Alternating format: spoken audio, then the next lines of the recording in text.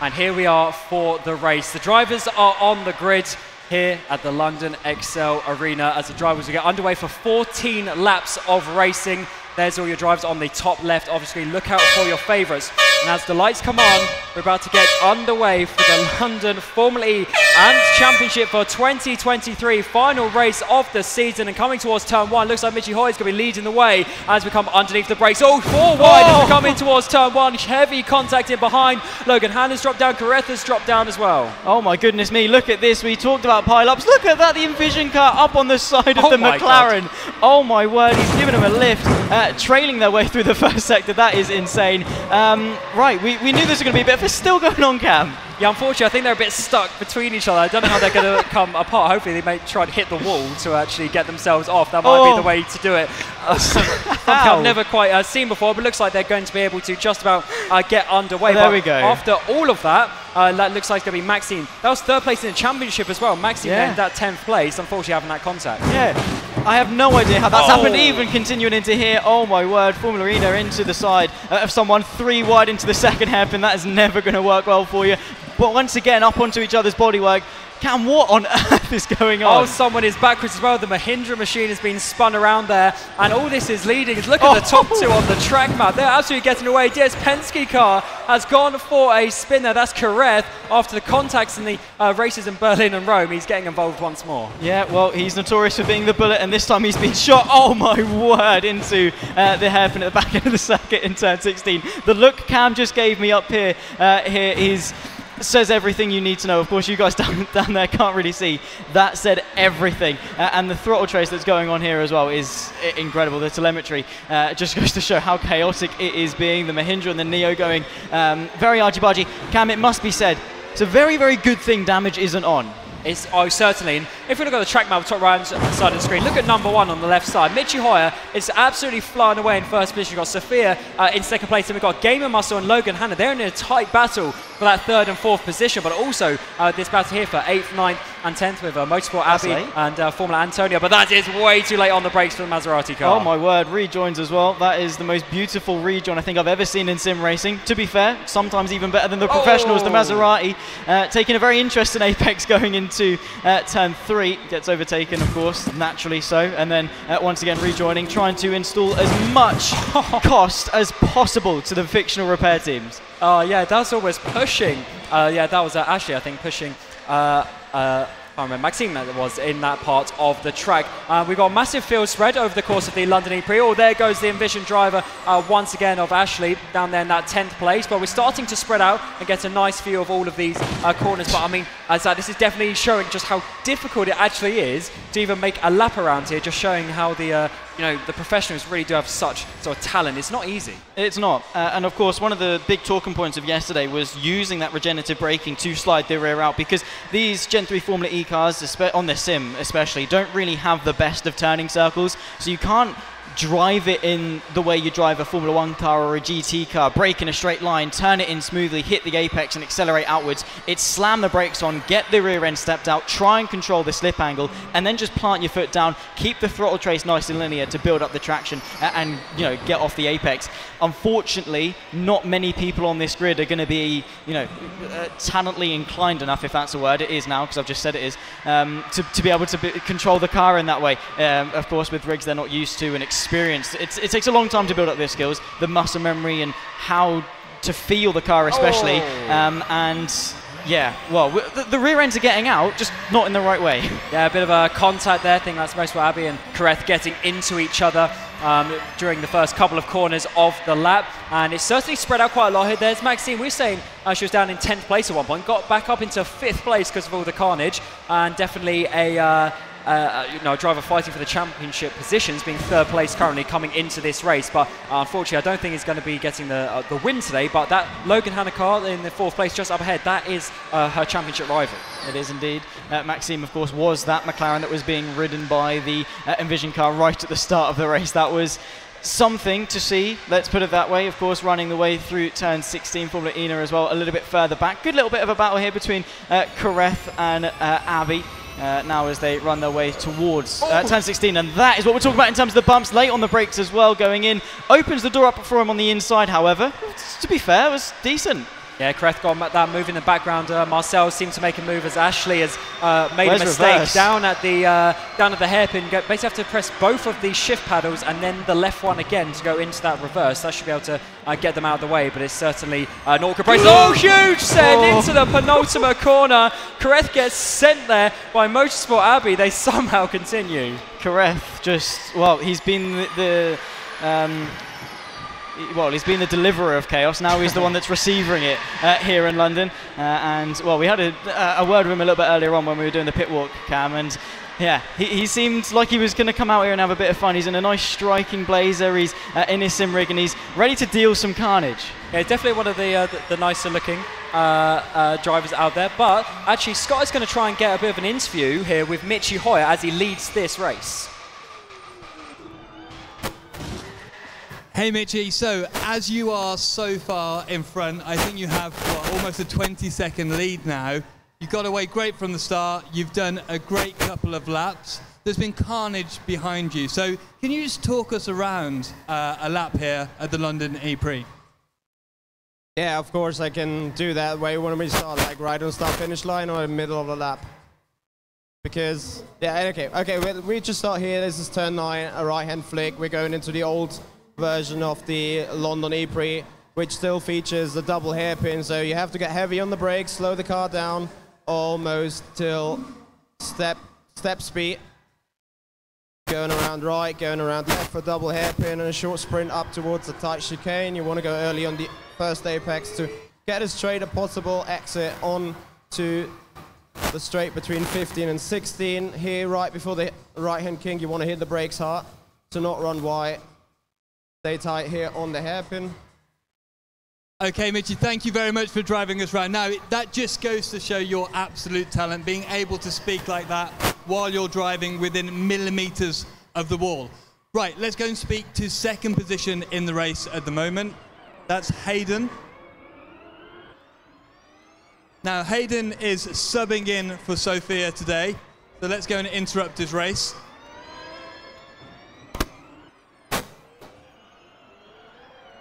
Haydon, Haydon, you're super subbing in uh, this weekend for Sophia. What do you think of the Formula E car and the London E-Prix circuit? It's, uh, it's definitely a new challenge to, uh, to try and get used to, um, but enjoying it a lot.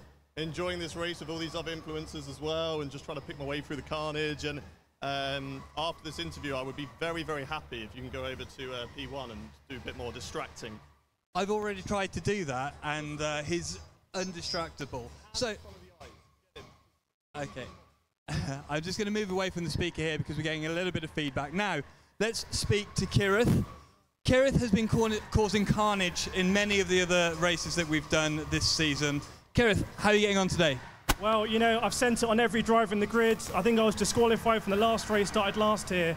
And I'd like to take this opportunity to apologise to absolutely none of the other drivers because they're all sending it on me now as carnage. Absolutely great racing with uh, Abi. I know she's very fast on two wheels, and we've been going side by side, and I've got a Formulaena in my sights. I'm coming for the overtake Formulaena. Now, I have to say, Scott, last time round I hadn't had my Driver61 coaching, but this time I have, and it's not quite working for me. What's going on, God? I'm down in seventh place. Please don't bring me into it, Kireth. Um, right, let's head up back to the casters for some commentary on the race. And it's amazing to see the uh, the drivers being interviewed mid-race. You don't always get that, um, of course. But now on to, uh, to lap seven. There is uh, Michi Hoyer leading the way uh, in that Nissan car. And uh, Zach, he was actually seeming pretty calm there. I mean, he was doing a track guide mid-race. Yeah, I mean, Michi obviously he's known for doing his sort of POV streams of whatever race series he's doing, so he sort of knows how to read chat and keep his mind focused on a million different things at once while still trying to communicate and keep things interesting. So, uh, of course, Scott has pestered him. Uh, a lot over the last few weeks, so Michi's obviously used to dealing uh, with Scott, which you know it's not an easy thing. Let, us put it that way.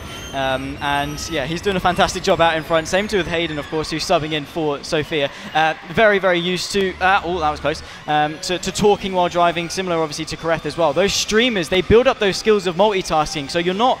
You know, you don't have to always be 100% focused on the driving. You can let your mind do other things as well. As we get in this really close battle. Uh, coming up towards the final couple of corners, Oh. actually, oh, huge send, all three of them going into the barrier there at turn 21. That is definitely some absolute carnage. Fortunately, as we said, the damage is off, so they can't continue side by side down the straight, it seems to be, as Kireth there managed to get that Formula E Ena car, as he was obviously just saying, oh, huge there into the wall for the Envision uh, racing car. I think that's the uh, Ashley car, unfortunately, a lap down. As sadistic as this might be, I would love to see what this race would be like if we could have damage on. I would love to see how much bodywork would be flying everywhere, how much of the track would be covered. But then again, there wouldn't be much of a car Oh, left, and that is sideways into uh, the side of the uh, of the track. Formulaena, this is brutal, Cam. It's a war zone out there. Yeah, this is definitely some Mario Kart kind of stuff as uh, Crest going to get punted once again coming through turn 9. Pretty sure he ended up in the fence there. But this is, of course, big battles. This is championship points that they are going for. Coming in towards the double hairpin sequence now. Can they get the braking done? Oh no! As Ashley goes wide there and that absolutely sends Abi out the way. Kireth is going to be getting up to that seventh place. Trying to compensate for the lack of rear brakes by using other cars uh, as a set of calipers and brake pads and brake discs in order to, to slow themselves down. Uh, unfortunately, that does require a large aspect of accuracy, and if you do miss, you are sending yourself flying into the uh, into the barrier. Kireth at the moment uh, trying to take it nice and cautiously through turn 16. Uh, of course, they don't have to take uh, attack mode, uh, and we were talk- talking to Nick. He said none of them are even clever enough to figure out how to work attack mode, so uh, they, they don't have to worry about the extra 50 kilowatts of power. Kireth hitting every apex through that final sector. It's not, it's not bad. Definitely getting there. Of course, they got 14 laps. There's a few laps to Yeah. get to, uh, to learn uh, the track, learn the apexes. And as we were mentioning earlier, it's really not an easy track. As you're seeing, there's some proper tight corners and ones where you really have to get a bit of a uh, bit of a run going. And this is actually um, Michi Hoyer here coming through to lap Kireth. These guys have had a bit of uh, argy-bargy so far this Oh. season. Oh, Michi goes for up the inside of turn two. Can't quite make it stick. Here we go. Kireth has been, uh, again, as I say, notorious for being the bullet, especially when it comes to this man right here. Michi Hoyer uh, has won a lot in sim racing. Uh, of course, races uh, with, with Burst. And, um, of course, Burst have had a really good weekend with the Accelerate, with Jani Simicic taking the overall and uh, with Davin Rocek taking the uh, London uh, Formula Accelerate Championship as well. So he's definitely among uh, some high prestige in sim racing and Kireth says sod that I'm doing Oh. whatever I like into the double hairpin. Uh, and pulls exactly what we've, we've been seeing in the real life Formula E cam in the free practice sessions. Uh, Kireth not lighting up the rears. He's actually been able to find reverse gear which is quite impressive It definitely is, but unfortunately, he wasn't able to find the breaking point, which is generally the more important factor that you need to find uh, in racing. But it's definitely a couple of close battles out there, and uh, that one, Kireth and uh, Motorsport Abi, they seem to be having uh, a bit of a ding dong. I'm sure that one's going to go to the end of the race. Lap nine now of 14 is going to be. We just saw Gamer Muscle there uh, briefly, having a nice, uh, calm race there in that P3 uh, with Logan Hannah in P4 behind. yeah indeed so look Oh! at that Bosh boom backwards into the barrier goes Kireth pointing actually the right way it's given him a really nice late apex to get a good exit into turn 17 so I suppose there's silver linings to everything uh, Kireth I, I do feel bad for him he's he's, he's faced a lot of adversity. You feel here bad for him, he's taking people out as well. You got to give it and take it, I suppose, Cam. Oh, he hasn't made that corner for the uh, eighth time of asking. But uh, he actually seems like he's got a bit of a gap there. That hit from Mosport Abi, I don't think it was timed uh, at the right moment. We've got a couple of seconds between them now as they come on to uh, start the next uh, lap of the race for these drivers. And of course, it's definitely uh, you know a big occasion for these guys, and they're certainly trying very hard to get these places. Yeah, I do wonder what the crowd thinks as well. We've got a huge, huge amount of people here in the fan village. Of course, you're all, you've all stuck around for this long. We're on at lap 9 of 14, and you're still keeping your eyes firmly peeled. So I'm sure you are all thoroughly entertained uh, with. I don't really know what to describe it with, Cam. Uh, what, what, what word can be used to describe this? Carnage, chaos. It's, it's kind of exciting. It's enthrall- uh, uh, there's not a word that really sums it all up. Well, it's the, the Formula E Amped race. That is That's pretty true, much uh, what, we're, what we're seeing here. It's As, influenced. uh, of course, it's the, literally influenced quite, uh, uh, yeah, quite by definition. Oh, that's Oh. a huge uh, slide there out of the uh, out of the corner. They're almost making contact with the uh, Avalanche Penske car. That is a Formula Ena putting a lap there on a Formula Antonio uh, coming in towards the hairpin. All both both of them go way too deep, hit the wall. Fortunately, they can bounce off it quite nicely. You're right, actually. That corner it sort of points you in the right direction if you actually make a mistake. Yeah, I do love how we have got the electric passenger rides going on behind us. The tyre schools are very well timed uh, with that, like that shot there going into the hairpin.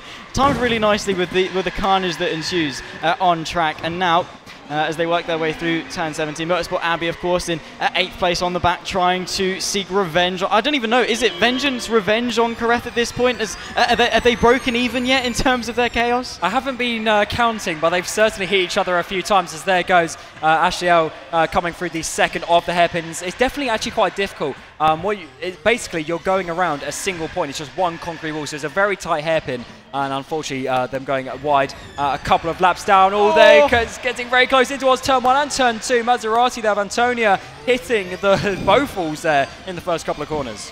Yep, uh, I suppose uh, the, the walls follow the track, so if you follow the walls, you, you're going to follow the track, I suppose. Uh, we saw it in NASCAR at one of the stadium races where a driver just floored it around the outside, uh, Gran Turismo style, really. Maybe that sort of philosophy is showing here. I don't think it's the quickest way around the track, Cam, but it's certainly one way of doing it. Yeah, it's definitely one. I don't. Actually, I don't know if it's uh, what's going to be. It's getting a racing line, not the racing line. Yeah, I don't know if it's what's going to be getting them positions, but here's Abi now coming up towards the back of Antonio, looking to the inside of the hairpin. That's actually difficult, it makes it tight, but actually avoids the Maserati car there going uh, wide into the wall. Oh no, they come back actually. This is side by side in towards a very tight chicane, and unfortunately Abi there is going to have to back out of it. Nice move by Antonio, sliding on the exit though, and through goes Abi a second time. Beautiful racing, it must be said. Unfortunately, all ruined by the Maserati from going sideways on the uh, following chicane. Now they've got to do all the hard work again. Oh! Chucking it full lock. Beautiful dodge from Abi there. And, well, very, very poor uh, target practice there from, from Marcel. I tell you what, I definitely enjoyed this race. though. Definitely something a bit different. it's to been what, different. uh, to what we're used to, but of course, a bit of fun uh, for these drivers. Abi there getting a pretty decent line actually. Unfortunately, uh, dropped off quite a bit from Kireth. Kireth uh, uh, there on track, by coming through turns one and two. Actually, Kireth's getting close to Formulaena uh, to try and get up that position that he had uh, just a little bit earlier on. So definitely a few close battles still here as we're coming into the last few laps of this race. We are indeed. Now, I think Nick has taken some notes for next season's Accelerate because I think we need just a, a fun one off race for triple championship points, just no rules, go at it. Every man for themselves. I think that would make for a very interesting turn of events uh, if we uh, come back to London for our finale. Formula Antonio in the Maserati, of course. Uh, one of the uh, 11 drivers on this grid that are going to be very, very fortunate that we haven't turned damage on. Uh, Marcel, very civilly working uh, their way through the circuit, trying to keep it out of the wall for the most part, which really hasn't been easy, it must be said. Now into the closing stages, lap 11 uh, of 14, uh, and now we've got a good little battle here. for Arena trying to go to the outside over the bump, tapping the barrier, full lock on, and that was an attack on the attack. Oh, but here comes Kireth to go through actually, getting that sixth place as we come around the long left-handed corner in towards this tight chicane. Oh, more contact happening here with Abi and Antonio. Yeah, well, that was certainly something. This race has certainly been something. Um, and yeah, we always like a little bit of fun, a little bit of carnage, a little bit of chaos. And well, that's exactly what this has been. Formula E has been able to work uh, their way past Kireth as well, back into sixth place. Here's Michi Hoyer.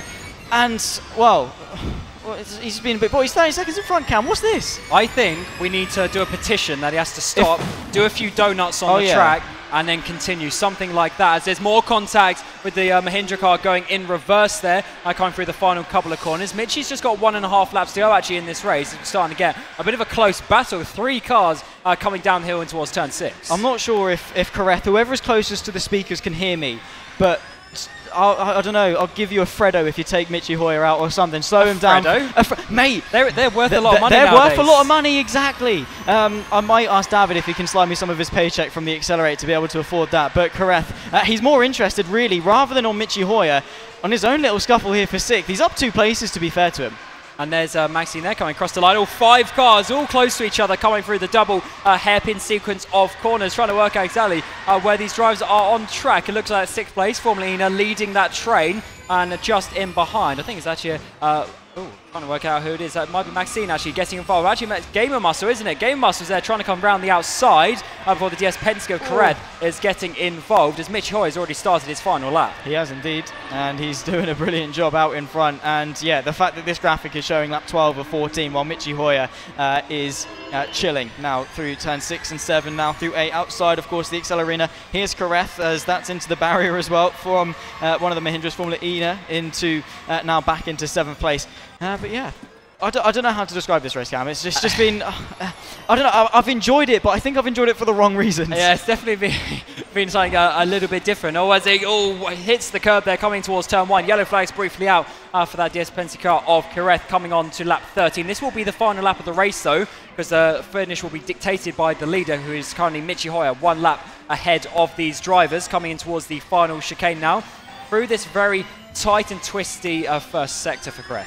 Here's Michi Hoyer, of course, you can see in the track map, uh, working his way through the long left-hander turn 17 into 18, 19, 20, then uh, up over the rise into the final couple of corners at 21 and 22. Well, Michi Hoyer, well, he's three wins and three, and he's won the championship or something. Yeah, Michi Hoyer's going to be absolutely loving this one, weaving his way across the line to take victory here at the London ExCeL for the Formula E Amped race for 2023. And with that, the championship Boom. in celebration comes uh, Formula Antonio there across the line. And of course, the drivers are quite way behind, actually. They still got a few corners to go to finish their lap. It's going to be Sophia, or actually driven by Haydon uh, in this race, coming through in second place so they can come through these final couple of corners. Yeah, actually, I don't think being able to find reverse once again. Double tap both pedals, press the left one again, get yourself back to neutral, then put it into reverse. Uh, here comes Haydon Gullis, of course. Uh, a very interesting way of celebrating. Uh, I'd say it's been good driving, Cam, but I don't even know if you can call it driving. Uh, yes, certainly been uh, cars going around a track. Driving is, uh, is a definition that will have to come Strong through word. Uh, another day. But here is Haydon across the line to take second place, weaving their way uh, to that wonderful uh, finish. Actually, a, a, pretty clean race from them, actually, uh, in the end of it. Here is, of course, the final few drivers coming across the line. Gamer Muscle will be taking third place. So Logan Hannah actually not too far behind in that fourth. Of course, Logan sitting second place in the championship. Uh, coming into this one, should be able to secure that with this finish. Yeah, should be able to uh, indeed. Just a little bit of pride, really. We were talking, they don't necessarily get a prize, they just get something to uh, put lovely into their social media bi bios and uh, have a, a, nice little Formula E Accelerate amped um, championship finish next to their name. Maxime, of course, across the line in fifth place, uh, was behind Logan and Michi in the championship. Across the line uh, in the McLaren uh, to take third, and then for good measure gets tapped by the Mahindra. And then, of course, as cool down lap shenanigans go, this is, yeah, it, has been uh, shenanigans. absolutely has. It's certainly been an entertaining race here.